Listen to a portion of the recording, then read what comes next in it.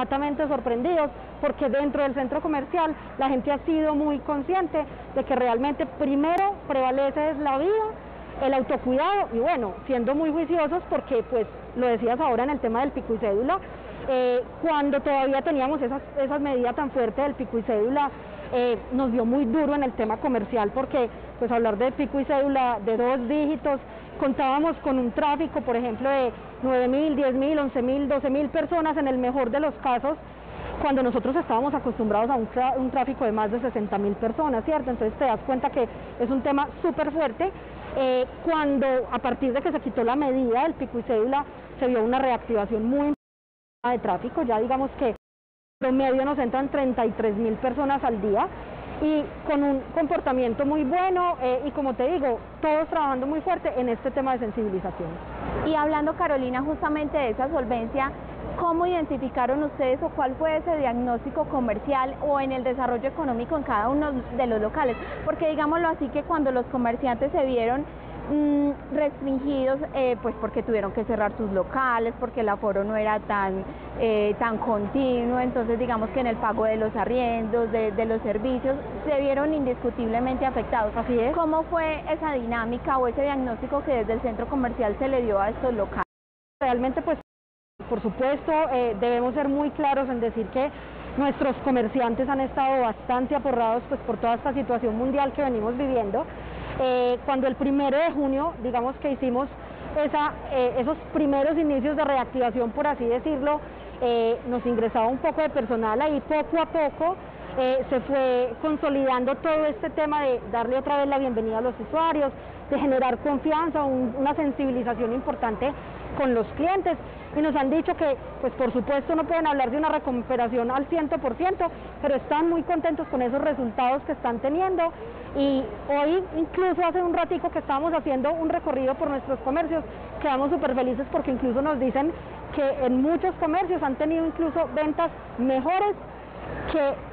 que antes de la pandemia. Y uno dice, ay, bueno, Dios mío, qué rico que estamos recuperando este comportamiento comercial y recibiendo a todos los bellanitas, porque mira, es súper importante, es que Puerta del Norte no es solo ventas, Puerta del Norte es una experiencia, un espacio para vivir, por supuesto no es toda nuestra actividad estratégica se ha habido muy modificada,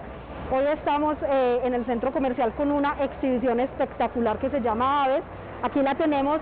divina con más de siete estaciones, son animales eh, animatrónicos, por supuesto estas estaciones gran, eh, digamos, diferencia porque antes eran interactivas, son contemplativas, animatrónicas y son entonces tocas a decirle vengan bellanitas, vengan personas y habitantes del norte, aquí los recibimos con el corazón, tenemos que seguirnos cuidando, pero listo, estamos preparados para que la reactivación sea cada vez mayor. Pudimos hacer reactivación de las zonas de comidas como tal, eh, donde tenemos estas plazoletas y, adicional los restaurantes amanteles. En esta, o amantel, en esta zona hay unos protocolos adicionales a los habituales que se hay dentro del centro comercial. Eh, pues en esta zona, obviamente, cuando van a empezar a ingerir los alimentos, la persona puede quitarse su tapaboca, lo guarda en una bolsa que va dentro de su bolso, no debe ponerlo en la mesa. Cada vez que una persona o una familia se para de la mesa o del mobiliario donde estaba eh, ingiriendo alimentos y hace un proceso de no solo limpieza, sino también desinfección para que venga la otra persona. Estas plazoletas una forma diferente, distanciamiento de dos metros entre mesa y mesa, y los establecimientos de comida también están cumpliendo con todos esos protocolos en el, tema de alimentos para brindarle un buen servicio a todos nuestros habitantes y nuestros visitantes que puedan consumir sus alimentos con toda tranquilidad, pero que poco a poco recuperemos esa confianza, porque Puerta del Norte es eso, vivir la experiencia de tener una, un momento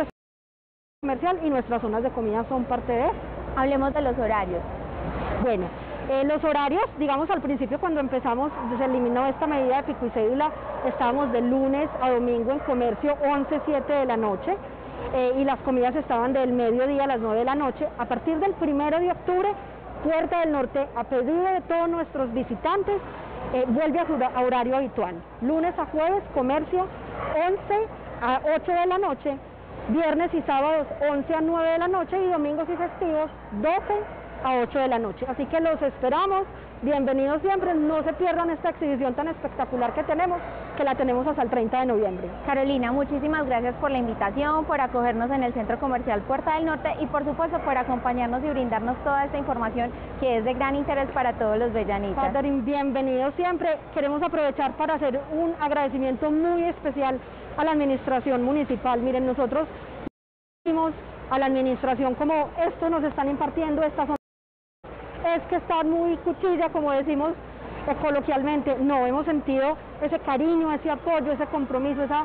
esa sensibilización en compañía que nos han ayudado a hacer con todos nuestros visitantes y de verdad que gracias a la administración es que Puerta del Norte está retomando su camino. Muchísimas gracias. Bueno, Carolina, muchas gracias a usted y es que así debe ser. Para eso estamos desde la institucionalidad